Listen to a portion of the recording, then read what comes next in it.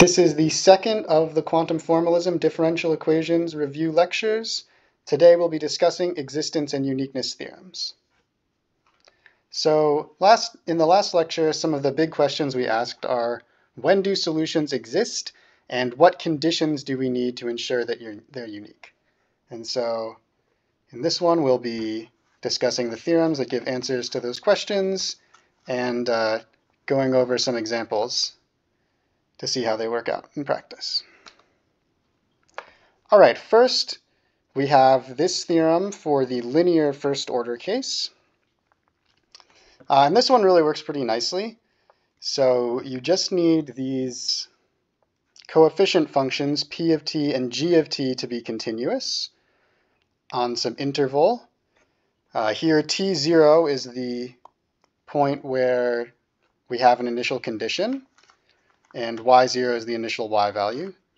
So in in we're formulating an initial value problem where y of t0 equals y0 is the initial condition. p of t and g of t are these coefficient functions. And the theorem says that as long as those functions are continuous, then you do have a unique solution and it will be defined on an interval containing t0. And not only that, but it'll be the full interval where you can ensure that the coefficient functions are continuous. So these two intervals are the same. And as we'll see in the nonlinear first order case, that will not happen in the general theorem. Okay, so the proof is more or less, we actually just know how to solve all of these. This is what we spent a lot of time on in the first lecture, using this method of integrating factors. And we saw there was this arbitrary constant c and if you look at it, it's not too difficult to see that you can actually uh, solve any initial value problem. Where do these conditions that p of t and g of t need to be continuous? Well, doing this method of integrating factors, we had to take some integrals. To get the integrating factor mu of t, we needed to integrate uh, p of t, and then later to actually find the solution to the differential equation, we integrated both sides, so there was also an integral involving g of t.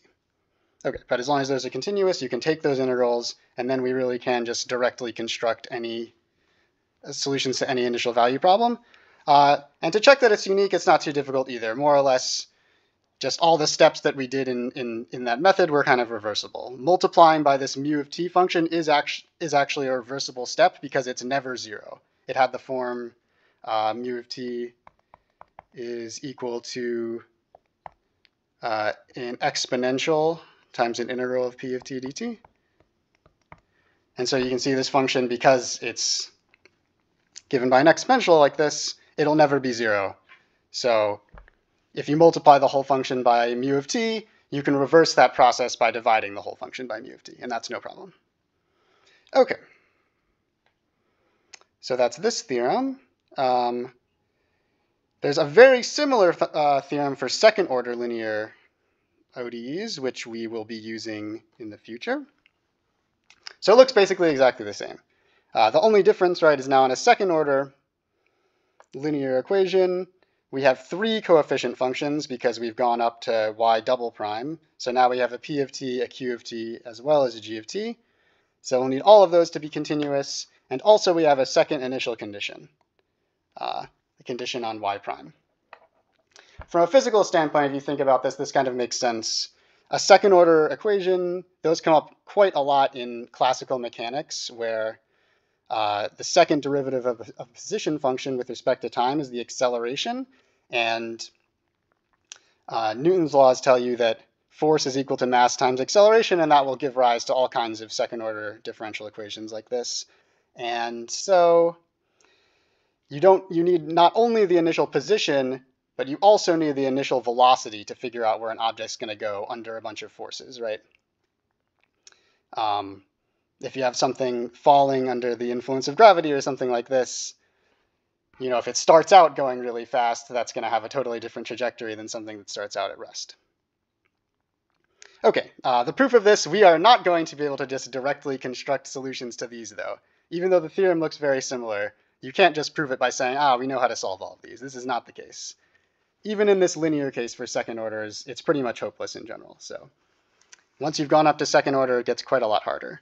Uh, we will solve some of them, but only in very special cases. And um, we will get some sort of general properties about second order linear differential equations, like things you can do with solutions to get other solutions, but not quite uh, just solving any one of, any of them you want in terms of integrals like could in the first order case. But the theorem looks the same, right? We have uh, this open interval from alpha to beta in the hypotheses where you know the coefficient functions are continuous is the same interval where you know your solution to initial value problems will be defined.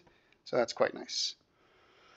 All right, and the last theorem we'll talk about is the nonlinear first order case. So this one it looks a bit different, has different hypotheses as well as a different conclusion. So now we're in the general case, so we can't just, we don't just have coefficient functions of t, we instead have this general situation where y prime is written as a function that can depend on both t as well as y. And so now um, continuity of this two variable function f is not enough to get unique solutions. You also, it turns out, need continuity of the y partial derivative. So this f of ty is a two variable function, so taking this y partial derivative makes sense. And so now, rather than looking at an interval, we're in two-dimensional space, so we look at this rectangle. Uh, again, it's an open, so it'll be some kind of open rectangle where t goes between alpha and beta, and y is going between gamma and delta. All right, so on, in that situation, we do end up getting unique solutions, but the conclusion's not, as, not quite as good as in the linear case. We end up with what might be a smaller interval. So you see here, this t0 minus h, t0 plus h, this is just some sort of arbitrary open interval containing t0. It might be very, very small. It does not have to be the full open interval from alpha to beta like it was in the linear case. All right, uh, there's an interesting situation. If you know that f is continuous, but the y partial derivative is not, then it turns out you do still get existence of solutions, but you might not have uniqueness. Okay, we're also not going to prove this one. Uh, it's pretty difficult. Um, yeah, these are just review lectures, so I probably I'm not going to go into any details at all. In a, in a full differential equations class at this level, I would probably give some ideas of the proof, but here, not really. So the main tool is something called the contraction mapping theorem that you could encounter if you took some kind of uh, real analysis, undergraduate real analysis course. Um, but yeah, you, you, you rewrite it in terms of integrals and do something with iteration. That's about all I'll say. The proof's kind of difficult. All right. So now let's look at some examples to see how these theorems play out in practice. Okay, the first example is one that we've already done. This is the this is a uh, first order linear differential equation that we did at the end of the first lecture. And we ended up with this solution, y is equal to t squared plus 1 over t squared.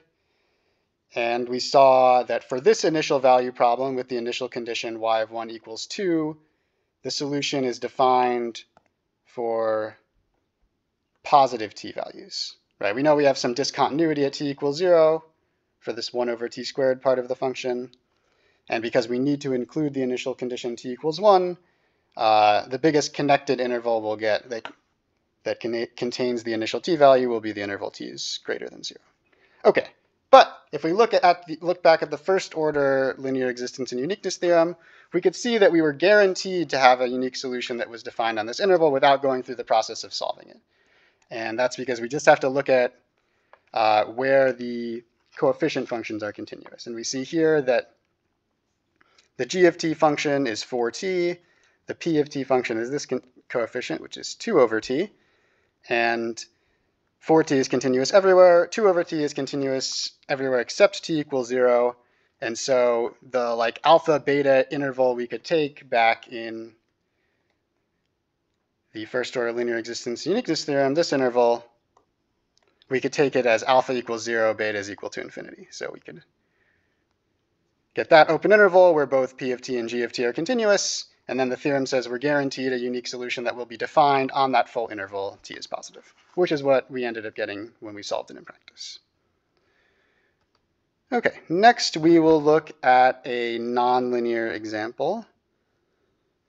Uh, here, here we're using x as the independent variable instead of t. Doesn't really make a difference, right? Obviously, you can change the variable names to be whatever you want. Um, all right. So this one is definitely nonlinear. So we need to use the general theorem. Here, this it's already in that standard form. So this uh, lowercase f of xy function is just the right-hand side of the equation. All right, and now if we want to look at where this thing is continuous, uh, it's just a rational function, so we just need to look at where the denominator is 0, and we can factor that like so. Right, it's y times the quantity y squared minus 4, and that factors as one, y plus 2 times y minus 2. All right, so the zeros are at y equals 0 and plus or minus 2, so that's where that will fail to be continuous. And if we take the y partial derivative of this f of xy function, that'll, that ends up having essentially the same denominator, right? It's just the denominator quantity squared, so that will have the same zeros. So this also is continuous except at 0 and plus or minus 2. Right. This is using the uh, single variable calculus quotient rule. The derivative of the bottom is just this 3y squared minus 4 term so a minus sign times that times the numerator and then divide by the denominator squared. All right. So those are the only discontinuities for both those functions. So in any case, we are guaranteed a, a, that a unique solution to this initial value problem exists. This initial condition does not involve y equals 0 or plus or minus 2, right? We're only looking at y equals 1. So we are guaranteed that there will be some uh, unique solution that exists. And if we, and at this rectangle back in the hypotheses of the theorem, right, we have limits for this uh, gamma and delta, right?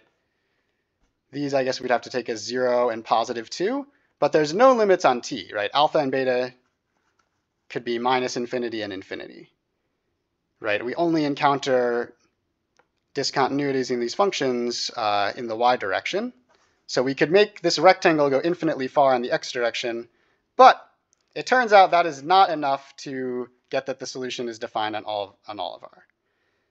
And I mean, we were clued into this in the statement of the theorem, right?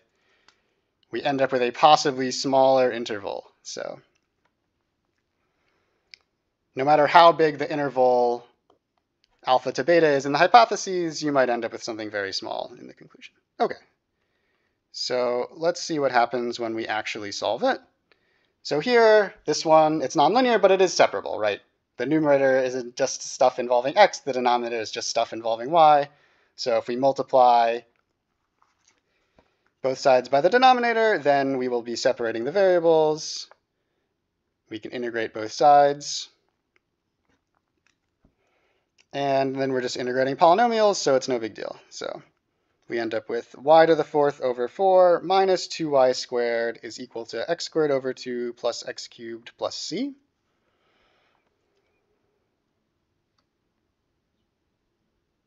All right, and that's about as far as we can go. Uh, actually, explicitly solving for y in this case is uh, Eh, maybe you could do it, but it would be some super annoying algebra and uh,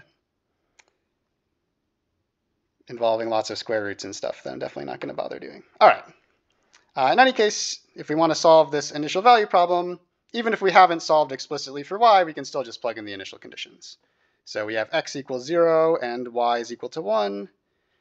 On the left-hand side, this term gives us a 1 fourth. This becomes a 2. These x terms just go to 0, so we'll end up with 1 fourth minus 2 is equal to c, or in other words, c is equal to minus 7 fourths, and we can plug that back into the earlier expression in order to get this solution to the initial value problem. Well, all right, this is some kind of implicit curve involving x and y, but at least the unique solution to the initial value problem will be some portion of this curve. Okay, and since we haven't solved explicitly y as a function of x.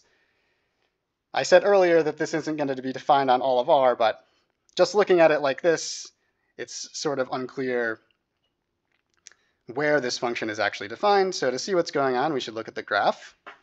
Okay, and so here's a graph of this implicit curve. And we can see, yeah, there are definitely some issues going on at y is equal to 0 and plus or minus 2. So that's not so surprising, right? These were the points where uh, the denominator of f of xy was equal to 0. And so, yeah, these will be the only points where you're not going to be able to find uh, a unique solution. Right, these are the points where the theorem will actually fail. For the initial value problem we're looking at, this y of 0 is equal to 1 situation, there is a unique solution, it just might not be defined everywhere. And indeed, that's the case, right? We cannot go infinitely far starting at x equals 0 in both directions, right? Going in the positive direction, we run up into this point and can go no further in the positive x direction, right? If we start looping er, back around the other direction, now it's it's no longer a function, right? You're you'd have like two different y values for a given x value, so that's no good. And similarly, if you try to go in this direction, you can't go any farther without sort of looping back around and failing to be a function. Okay, so those are the points where our solution to the initial value problem will end up being defined. Uh, yeah, so this would be the graph zoomed in and only looking at this portion between y equals 0 and y equals 2. So we see we are satisfying this initial condition that y of 0 is equal to 1. At least this portion of that implicit curve is a, is a well-behaved function. y is a function of x. And uh, yeah, so again, the, the conclusion we're reaching is that even though the rectangle we could make in the hypotheses of the existence and uniqueness theorem went infinitely far in the x direction, in both the positive and negative x directions, we still only ended up with this solution that uh, was defined on a finite interval. So it looks like, um, yeah, I think this point is exactly x equals minus a half. Or sorry, minus one and a half, I mean.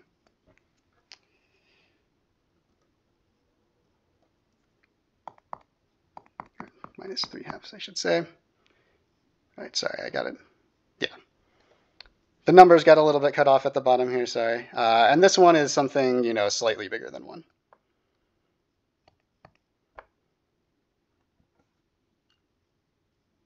So approximately one, but it's a little bigger. Right. Okay, so we did run into some issues as far as uh,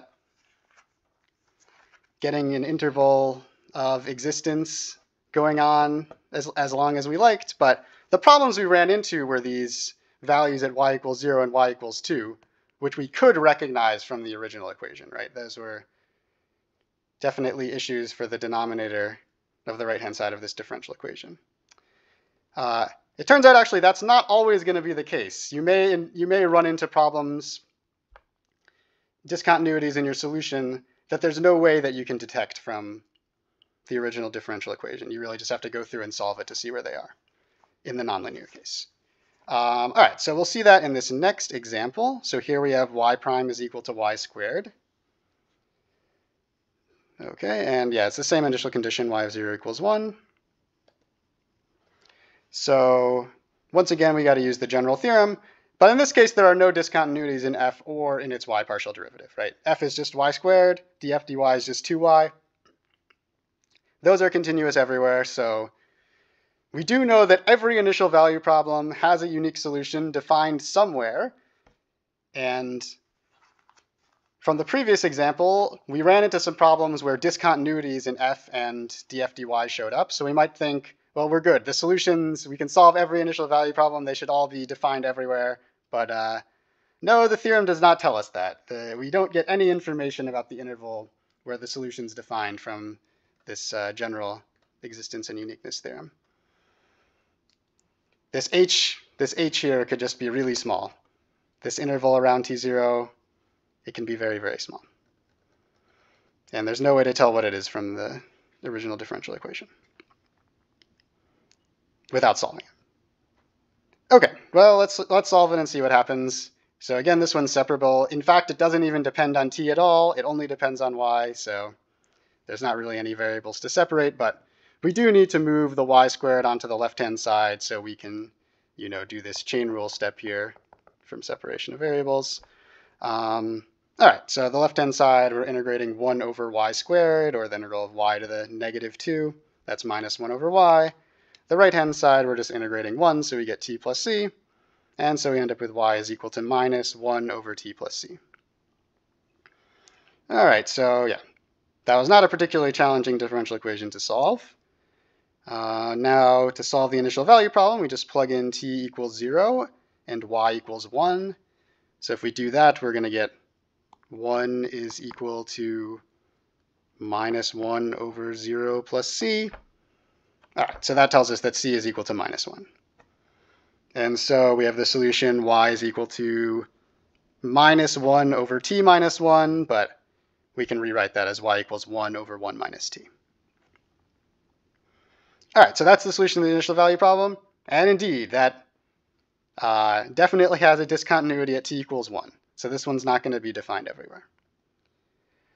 Yep, so this one is only defined on the interval from minus infinity to 1, right? We need to be sure we're choosing the interval that, that actually contains our initial t value, t equals 0. So that's our interval of existence for the solution to this initial value problem. But yeah, the t equals 1, there was no way to tell what was that that, that was going to be some discontinuity in our solution just by looking at the original equation or looking at the initial value. Right?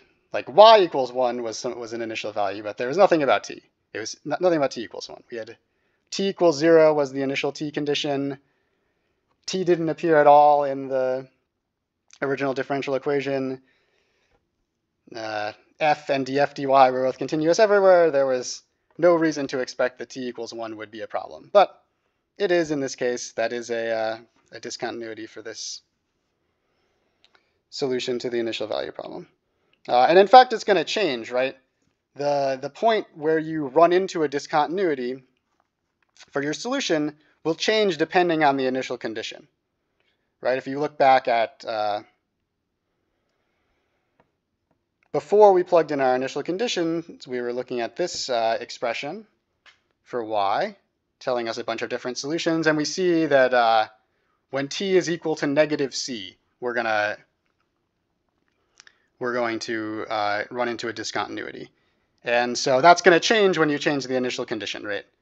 Because the solutions are all because the solutions are unique, right? For different initial conditions, you're going to get different c values, uh, and so you will run into different points of discontinuity in all of those solutions.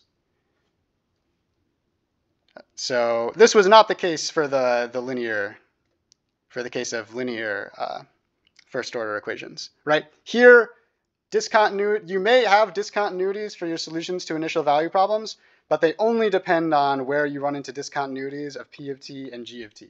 They don't depend on the initial conditions at all. It's just going to be things depending on where P of t and G of t have discontinuities.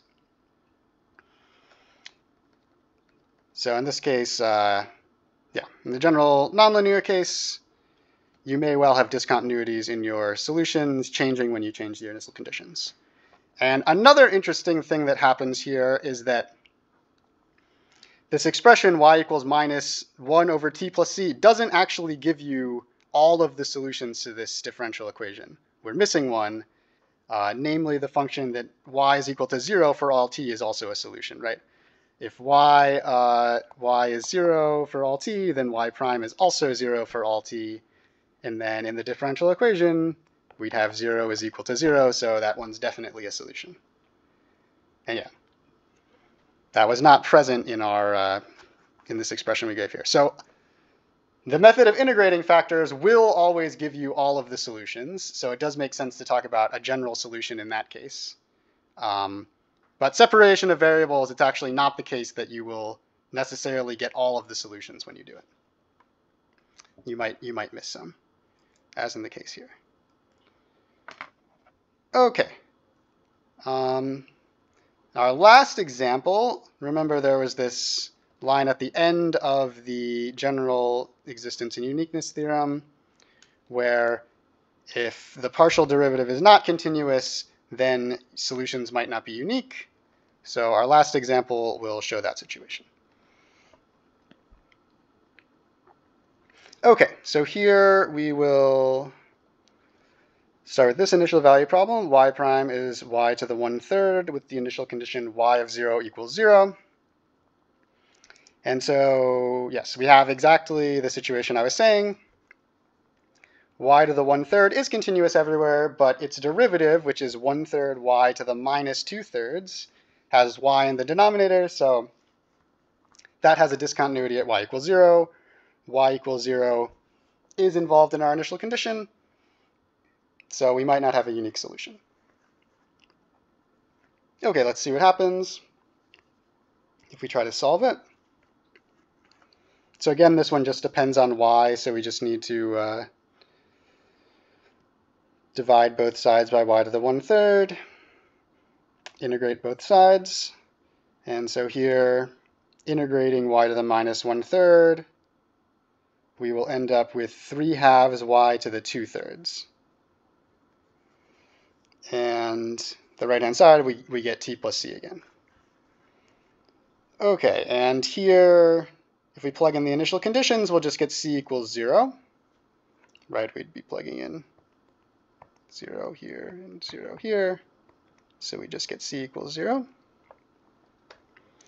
All right, so we have this expression, 3 halves y to the 2 thirds is equal to t. But now, if we want to actually solve explicitly for y, we'll be doing a 3 halves power, but that's the same as taking a square root and then cubing it, or cubing it and then taking a square root, either order. In any case, we're doing a square root, so we have to make sure we do a negative square root as well. All right, so that's where this plus or minus comes, comes from. And indeed, we found at least two solutions. y is plus or minus 2 thirds t to the 3 halves to this initial value problem. All right, well, there's a small caveat on that that, we'll, that I'll discuss in a second. But uh, also, there's another solution we missed, which is just like in the previous one, y, if y of t is 0 for all t, we'll solve the initial value problem again, right? Once again, y prime is also equal to zero, so that will solve, that will be a solution to this differential equation. All right, but it's actually, it's not just three solutions that we run into. It's uh, uniqueness fails to an even greater degree, which is that there will actually be infinitely many solutions to this initial value problem. We'll have a full infinite family of solutions that will show up here. Um, the reason for this is that this thing, this uh, y is equal to plus or minus 2 thirds t to the 3 halves, that doesn't actually give us a full solution because we're taking a square root, which means we're not allowed to do this for negative values of t. So this thing, this only is defined for t greater than or equal to 0. So that's not actually a full, that won't actually give us like a full solution to this initial value problem, right? We need to, we're starting at t equals 0, and so to have a, to have a solution, we're supposed to have something where we can go in both directions, right? That's back at the, in this existence and uniqueness theorem, right? We're supposed to be able to go slightly to the left of t0 and slightly to the right of t0, right? We have some interval t0 minus h to t0 plus h. And in this case, we can only go in the positive direction. So we're missing part of the solution, but it turns out what we're missing is just this function. So because this function, this first, this thing here, either the positive or this negative square root, uh, satisfies y prime of 0 equals 0. We can stitch it together with this function that's just 0 for all values of t. So we can end up with something that's, you know, 0 will be 0 until t equals 0. And then at that point, we'll go off and, and curve upwards or downwards. So that would be in this picture here. We would start t equals 0. I guess I didn't draw, I didn't have the left part of the graph showing. We go, it would just be equal to 0 for the negative part of the graph, but then at t equals 0, we could curve up like this following the arrows, or we could curve down following these arrows instead, and those would give us two solutions. But in fact, we could just do that whenever we want, at any value, at any arbitrary t0 value. Right, so here this t0 is arbitrary. We could decide to make this switch where we stop going, where we're identically equal to zero for everything to the left of t0, and then we go along one of these curves, either up or down, at that point. And that's because, you know, and, uh, any of these expressions like this will also be solutions to our differential equation. Before we plugged in for t equals, uh, we plugged in c equals 0 right here, we would be in this situation, right? So y is 2 thirds t plus c, and then we'd be plus or minus to the 3 halves. So anything like that is a solution, and then here we're just taking c is equal to minus t0 to come up with these functions here. Okay, so those are these, these, those are these other curves that are shown on the graph here. So at any point, we can start curving upwards or curving downwards, and that would give us a new solution. And all of these solve the initial value problem, right? Because they all pass through this point. You're just a horizontal line passing through that point, and then at some positive t value, you'll curve up or down. But you'll definitely still solve this initial value problem where y of 0 is equal to 0. Oh yeah, so yeah, we can, because the, the value of the function and the first derivative agree, we can stitch these functions together to make some sort of, we to make a piecewise function like this that solves the differential equation. Uh, there, there will be problems in the second derivative for sure, but in terms of this differential equation, we only care about the first derivative, so uh, it's enough for the, as long as the, the function itself and its first derivative don't have any issues, it's, that's fine as a solution to this differential equation. Uh, in any case, right, the second derivative, we're going to have problems anyway, because if we take the derivative of this uh, right-hand side, you know that we're going to run into some issues of like y to the minus two-thirds, like we had on this previous slide. So there will be issues with the second derivative probably no matter what, except for this one. The, if you have just y of t is equal to 0 for all values of t, of course the second derivative there will be fine. Okay, anyway, yes. So here uniqueness has failed to a very extreme degree. We have an, we have infinitely many uh, infinitely many solutions that solve this initial value problem. All right, so let's just summarize what we came up with here. Okay, so first order linear differential equations. As I said, the theorem there was quite nice. So we do get a general solution. So the method of integrating factors does actually give us a sort of nice form of the solution we, we can write down involving some arbitrary constant of c, which gives us all of the solutions to that differential equation. They can be solved directly in terms of integrals using this method of integrating factors. And the discontinuities of the solution can be detected by finding discontinuities of the coefficient functions p of t and g of t. So you can find discontinuities in your solution just by examining the original differential equation. And so, yes, all of these things are going to be false for general nonlinear first order differential equations. Uh, so yeah, we definitely ran into problems for the first statement and the third statement in our examples. But as far as the like not being able to solve them directly, uh, the only not nonlinear ones we know how to solve are separable ones. If it's not separable, we've got no clue. So yeah, it, do, it does turn out that uh, there are quite a lot of first order differential equations that you cannot solve by hand even in terms of integrals. And for second order and higher, it's even more hopeless. All right, so I think that's where I will stop for today. Uh, so here are some links to some quantum formalism stuff. Or if you want to find earlier lectures, there's the YouTube channel there.